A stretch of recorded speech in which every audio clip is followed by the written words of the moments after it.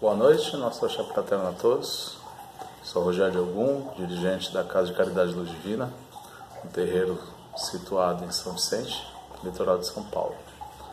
Bom, hoje eu vou falar sobre entidades, né? Entidades de Umbanda. Continuação do, dos vídeos que eu vou fazer.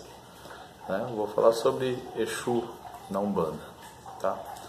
É, surgiu, como surgiu, de onde veio aquela questão de Exu escravo de Orixá, né?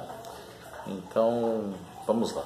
Bom, né, no conceito né, da, de Exu como escravo, escravo, a gente tem que voltar lá para a questão dos quilombos, né? Os quilombos onde os índios viviam junto com alguns brancos, índios, negros, principalmente da nação Banto. Né? Então, é, os, esses bantos chamavam de escravo alguns espíritos, né? o que hoje a gente em magia chama de espíritos servidores, né? escravo, aquele que serve, mensageiro, né? ou servidora que protege, né? é aquele espírito que realiza pedidos. Né? Eram espíritos ancestrais tá? ligados né? à, à cultura banto. Né? Então, nessa, nessa questão dos quilombos entre bantos, índios e brancos, né? os bantos impunham alguns métodos de impor o medo para poder manter controle. Né? E um desses era o artifício do, do escravo, né? do servidor. Né? Se falava que eram espíritos ferozes que protegiam a qualquer custo né? a, aquela, aquela comunidade. Né? Então eram feitos assentamentos para esses espíritos. Esses assentamentos eram feitos alguns montículos de barro com muita similaridade a uma colmeia, né? Então os índios olhando aquilo começaram a chamar de enxu. Enxu é uma espécie de vespa, né? Em tradução literal quer dizer abelha negra, que é um, um, tipo de vespa muito feroz também. Então assimilar um tipo de espírito com é, o assentamento parecer né, uma comédia de Enxu e começou Enxu, Enxu, Enxu, Enxu, acabou, acabou criando-se o conceito Exu, Exu, né? Então, é, são dentro da questão da Kimbanda, né, são os espíritos de tatas e gangas, ou seja, sacerdotes bantos, né, que compõem essa linha de, de Exu, Exu, né, Exu. Né? Então, com o passar do tempo, né, com a mistura de, de, de desse culto banto com o culto de encantados, é, que começou a macumba carioca. Né? E também é, esse nome vem de, de, de alguma corruptela de maquiumba, que é espíritos da noite, ou seja, Exus. Né? Então, é, esses Exus, a primeiro momento, eram né, sacerdotes, espíritos sacerdotes bantos.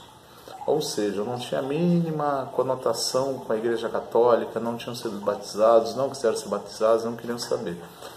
Então, quando esse conceito de Exu entra na Umbanda, né, é, os pretos né, que foram evangelizados, os índios, né, vieram assumindo a linha de Umbanda. Né? E os pretos e índios não evangelizados assumiram a linha de Kimbanda. Né? Também assim, tendo aquela distinção de caboclo bandeiro, preto velho bandeiro. Né?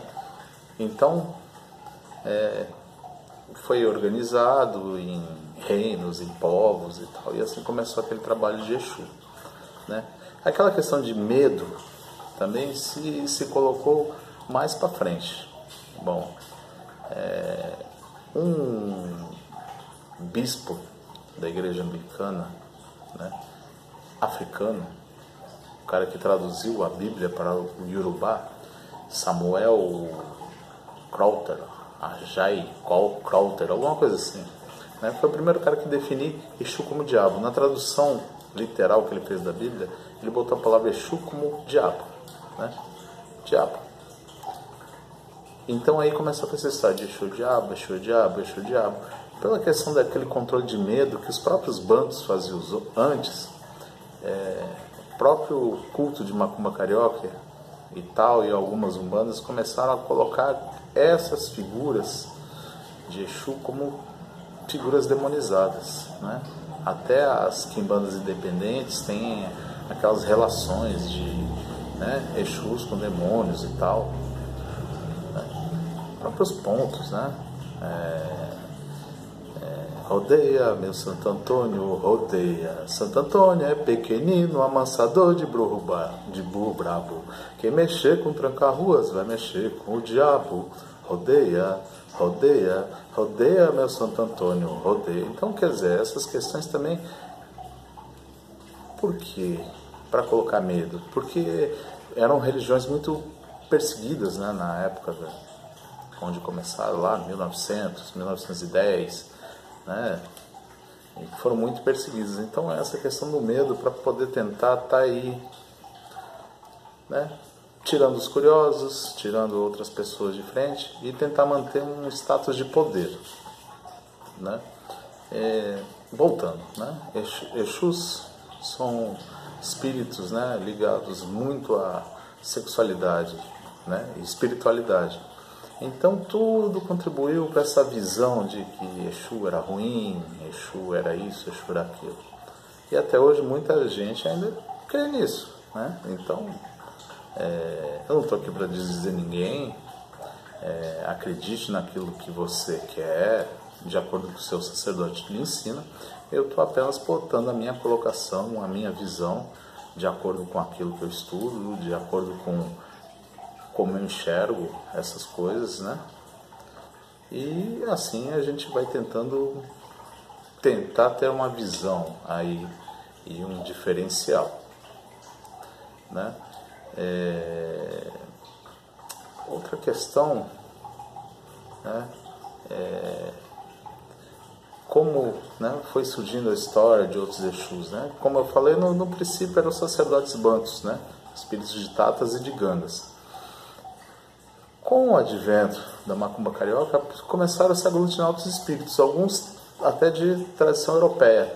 Né? Há muitos Exus você vai buscar a história daquele primeiro espírito que começou a dar aquele nome, né, que criou a linha, aquela falange, né? Então ele tem nome em português, né? Por exemplo, tem Exus Tiriri, Marabô, é, Lalu e muitos outros com nomes africanos, né?